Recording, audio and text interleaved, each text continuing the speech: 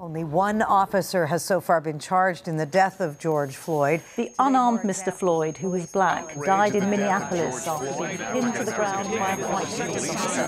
He was the latest in a string of African American men to die through police We hold these truths to be self evident that all men are created equal. I have a dream. You've heard those words, but what is that speech's impact today? And is it used as a shield to casual racists when they talk about the right way and the wrong way to protest? We're talking Dr. Martin Luther King Jr. on today's Nutty History. Now be inspired to hit that subscription button and notification bell, and like this video and leave a comment. Martin Luther King Jr. was a Christian minister and activist born in 1929 that led the American Civil Rights Movement for 13 years from 1955 until his assassination in 1968, advancing the movement through nonviolence and civil disobedience. He was inspired by his Christian beliefs and the nonviolent activism of Mahatma Gandhi. Dr. King is considered one of the greatest nonviolent leaders in world history and a symbol of social change. But many people forget all the things he actually said and did, and instead hold him up as an example for how they think protesters and justice reform activists are supposed to behave. To them, people are going about demanding change in the wrong way because they don't act like Martin Luther King. Well, who was Martin Luther King Jr.? Was he a justice reform activist and a peaceful protester, or a socialist that knew sometimes a riot was inevitable and necessary? I think we've got to see that a riot is the language of the unheard. Or could he be both? We'll get into that in a moment. Wait, no, I'll get to it now. It's both. People can be a lot of things. Dr. King was not universally loved in his day. In 1966, just two years before his death, 63% of Americans held a negative view of Martin Luther King. Peaceful protests that he led were met with police brutality and violence. He was harassed and threatened by government agencies, including the CIA and the FBI, and he was ultimately assassinated in what may have been a government-assisted conspiracy. In 1955, King gained national attention leading the Montgomery bus boycott in support of Rosa Parks, which lasted 385 days. During this, King was arrested and had his house bombed. The boycott ended with the United States District Court ruling that ended racial segregation on all Montgomery public buses. King became a founding member of the Southern Christian Leadership Conference. FBI Director J. Edgar Hoover took one look at that and thought, they gotta be doing communist activities in there, and began a wiretapping campaign. Because, you know, black people aren't demanding civil rights because they want them, they're doing it because they're communists. Makes sense. MLK was no communist. He had no ties to the USSR, and those FBI and CIA stings were unfounded and unconstitutional. But communism and socialism are two separate things. Dr. King advocated for the nation's poor. And hey, if you're going to do that, you might start to badmouth capitalism just a little bit. King once wrote, I am much more socialistic in my economic theory than capitalistic. He added that capitalism had outlived its usefulness because it had brought about a system that takes necessities from the masses and gives luxuries to the classes. Okay, I get it. He wrote that in 1952 when he was young. I can see how he might view things that way, especially with the inequality around him. Let's take a look at a quote from him a few years later in 1967 to see if he softened his stance. The evils of capitalism are as real as the evils of militarism and evils of racism. Nope, stance not softened. So yeah, Dr. King was opposed to the racial inequality inherent in this country, and that racial inequality was tied to the wealth inequality, and the wealth inequality was a result of capitalism. I guess that would make Dr. King kind of a socialist, wouldn't it? Remember that next time you use him as an example for how you wish protesters would behave. You don't get to pick and choose which parts of this man's teachings matter. The SCLC took their civil rights campaign to Birmingham, Alabama, organizing marches and sit-ins that openly violated the racist laws.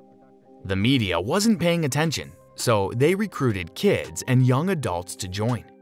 The Birmingham Police Department used high-pressure water hoses and vicious dogs against them. The images were broadcast nationwide, and a horrified nation looked on until the Jim Crow signs were removed. Hmm, this seems eerily similar to something I may have seen recently. Peaceful protesters being attacked by police, public outrage, leading to reform.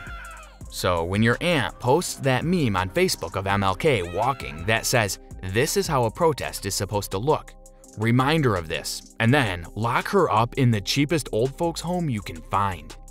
The March on Washington for Jobs and Freedom happened on August 28, 1963, and brought the major civil rights organizations of the day together. The event was organized by Bayard Rustin, which is why President John F. Kennedy originally opposed the march. Rustin was an openly gay man, a democratic socialist, and had been associated with the American Communist Party. But at King's insistence, Kennedy relented. JFK secured the participation of the United Auto Workers to increase turnout and put the focus on jobs. 250,000 people showed up for the one-mile walk from the Washington Monument to the Lincoln Memorial. The event's stated goals were demands for desegregated public accommodations and public schools, redress of violations of constitutional rights, an expansive federal works program to train employees, protection of civil rights workers from police brutality, and a $2 minimum wage for all workers, equivalent to $17 an hour in 2020. Hmm, those goals seem kind of similar to modern-day democratic socialists like AOC and Bernie Sanders. So, modern people that say they love Martin Luther King and stand for what he stood for must also support AOC and Bernie and democratic socialist policy, right? I don't know. Ask them next time you see someone co-opting Dr. King on social media. The speech came to be regarded as one of the finest speeches in the American history. The march and the speech helped put civil rights at the forefront of American politics and facilitated passage of the Civil Rights Act of 1964.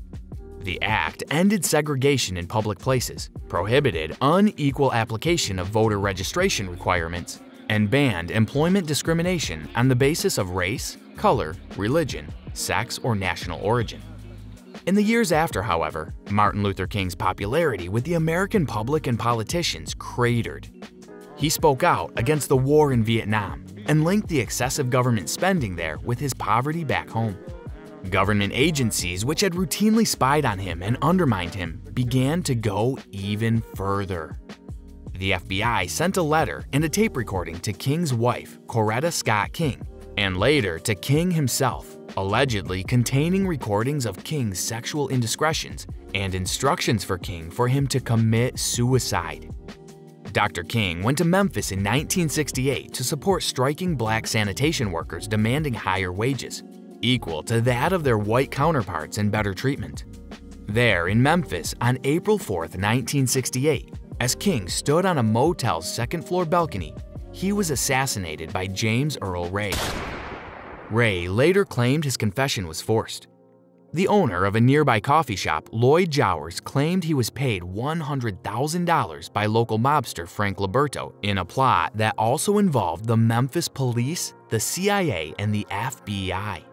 King's family sued Jowers and unnamed conspirators for only $100 in 1999 just to bring the case to a civil trial.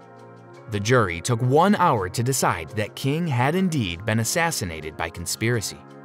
The U.S. Department of Justice disagreed with the results, reopened the case, and threw it out. After Dr. King's assassination, riots swept over 100 cities in the United States, in what was then the largest wave of social unrest since the Civil War. People were horrified that a man that preached nonviolence had been murdered by white supremacy.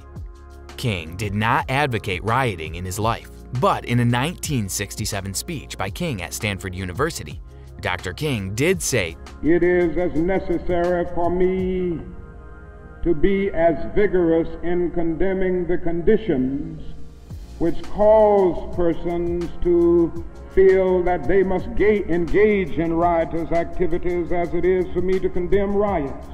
But in the final analysis, riot is the language of the unheard. The passage ended with King saying, And as long as America postpones justice, we stand in the position of having these recurrences of violence and riots over and over again. Social justice and progress are the absolute guarantors of riot prevention.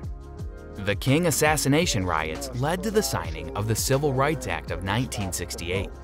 This contains the Indian Civil Rights Act and the Fair Housing Act.